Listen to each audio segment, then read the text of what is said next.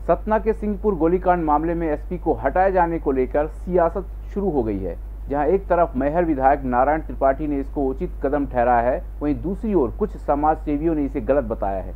मेहर विधायक नारायण त्रिपाठी ने कहा कि सिंहपुर में थाना प्रभारी द्वारा पूछताछ के लिए लाए गए रामपति कुशवाहा की गोली मारकर हत्या कर दी गई। इस घटना की मैं भरसक निंदा करता हूँ। उन्होंने घटना का जिम्मेदार सतना एसपी रियाज इकबाल को बताते हुए उन पर गंभीर आरोप भी लगाए। त्रिपाठी का कहना है कि रियाज इकबाल के कार्यकाल के दौरान लव जिहाद जैसी घटनाएँ सतना में ज़्यादा बढ़ी। इसके साथ ही सतना में जुआ, शराब और अनैतिक घटनाओं में भी इजाफा हुआ है। इनके एसपी रहते सिंहपुर थाने में हत्या जैसे मामले सामने आए। मुख्यमंत्री शिवराज सिंह चौहान द्वारा एसपी को हटाए जाने का उन्होंने समर्थन किया। रामपति कुशवाहा के साथ जिस तरह उसको पकड़ के ले जाकर उसकी थाना में हत्या कर दी गई इसकी मैं घोर निंदा करता हूँ।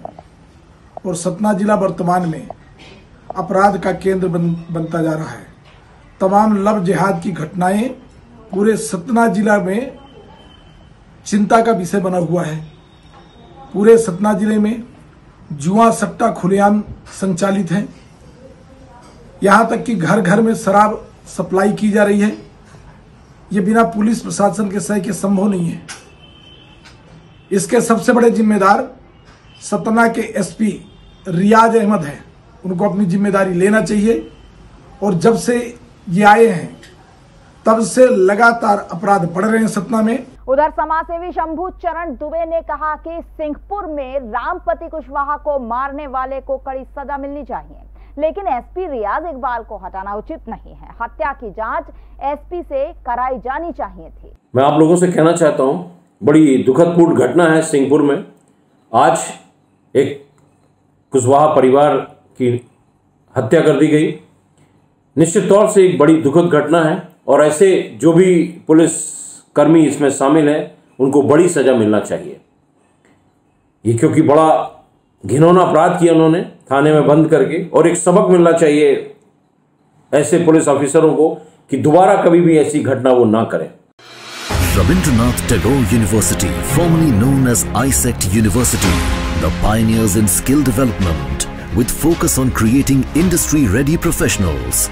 Join India's premier skill-based university, Rabindranath Tagore University.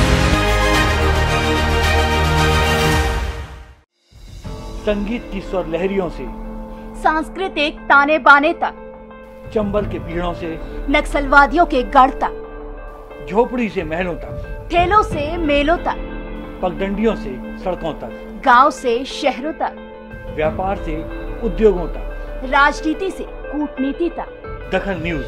आपके हक। में।